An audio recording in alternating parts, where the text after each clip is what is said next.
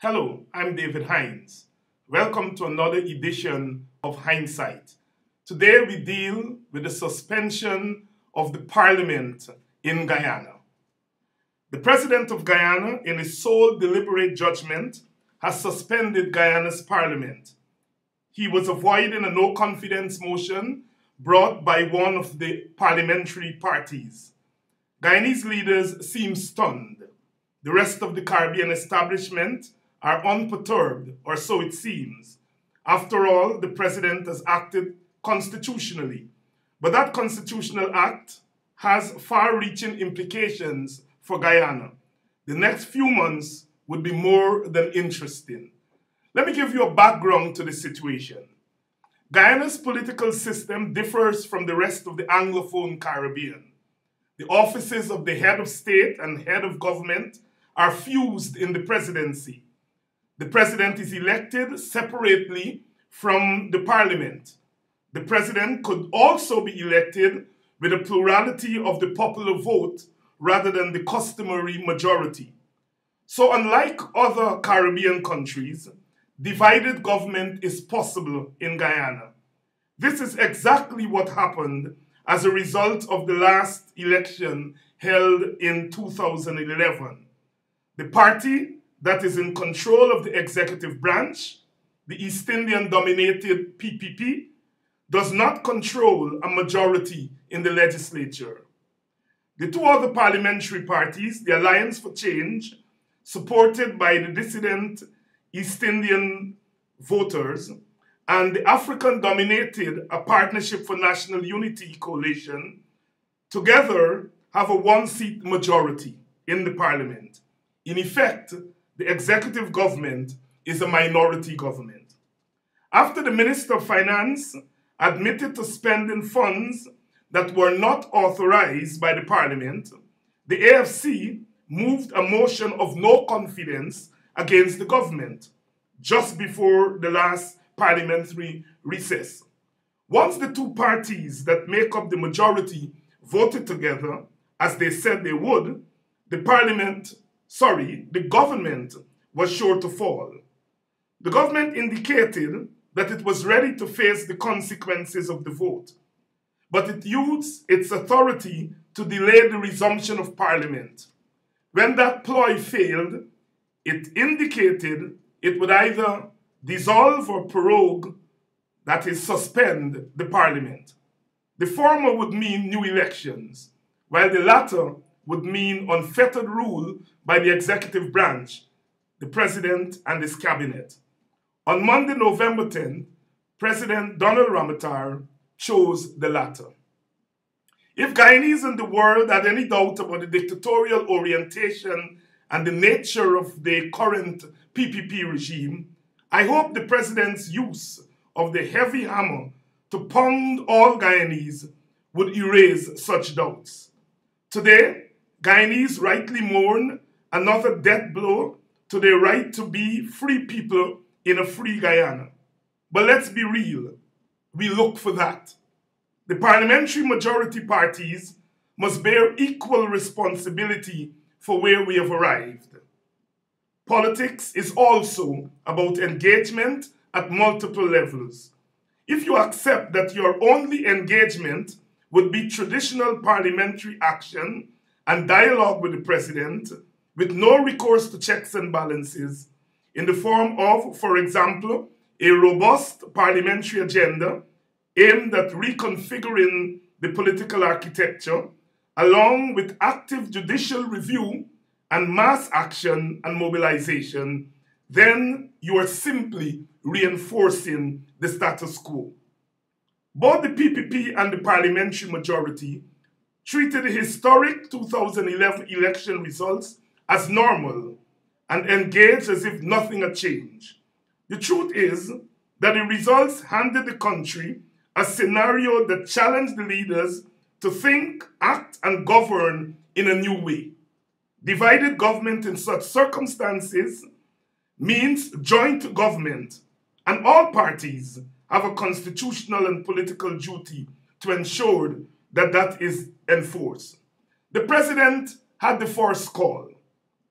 although the Constitution does not bound him to name a national unity government, the Constitution does give him the latitude to do so if he chooses.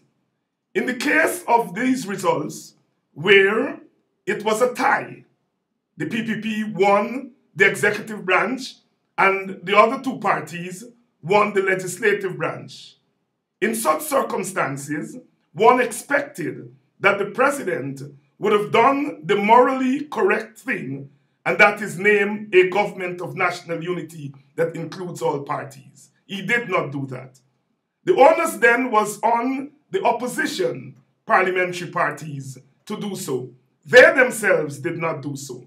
They did not even bring a motion to the parliament calling for the establishment of such a government. You see, for three years, the leaders of the parliamentary majority led their supporters down the wrong road. And as loyal followers, those supporters tried to make sense out of what was clearly not making sense. From the beginning, some of us felt it was a mistake to allow a minority government to govern as a majority. Such an approach legitimized a government that, by its very definition, lack legitimacy. Legitimacy of a government is conferred not only by the Constitution, but more importantly by the belief of the vast majority of the people that the government has the moral and political right to govern.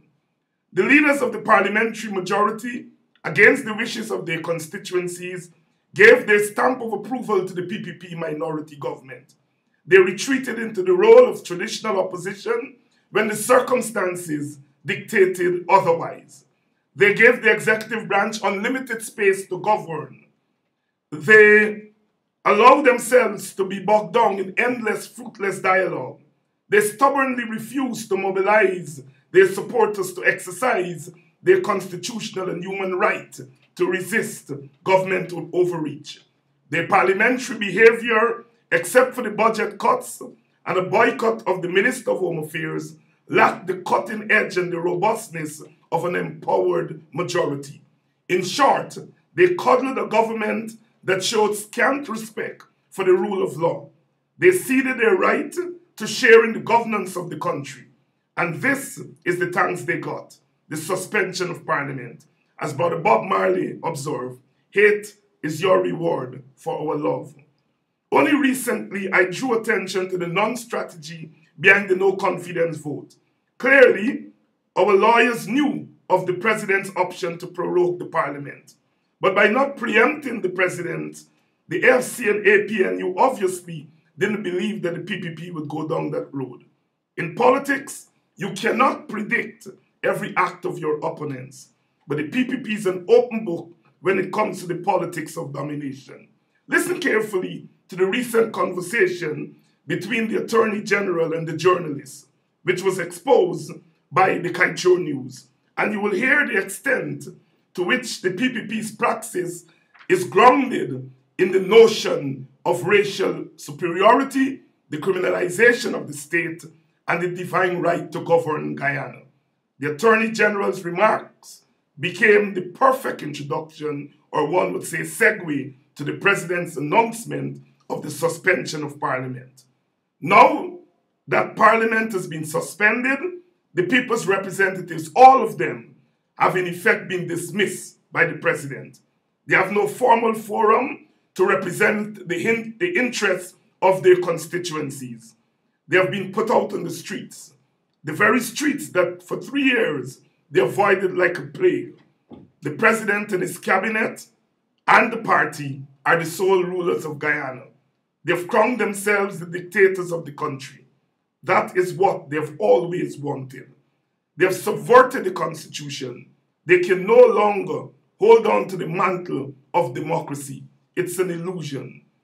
When the door to democratic contestation is slammed in your face, you are left with no other option than to purposely push it open. The president says he subverted the democratic process to prevent obstruction of government and to bring the opposition to the table. What rubbish! The parliamentary opposition parties have been at the table for three years, and the right to obstruct crude and cruel governance is a sacred one. truth be told, the AFC and APNU have not done a quarter of the obstruction they should be doing. In the end, it was the president and his cabinet who end up obstructing the process. The APNU and AFC have been focusing on elections as the grand solution to the PPP's dictatorship. Such an approach is attractive, but if those elections are conceived outside of a larger political solution, we would be merely reinventing the wheel. In 1992, after the long and sometimes bloody struggle for the removal of the then dictatorial government, democracy was reduced to elections. It was a mistake. We boasted of free and fair elections, but we left the draconian constitution in place and didn't settle the age old ethnic problem. The end result has been a government that is 10 times worse than the one it replaced.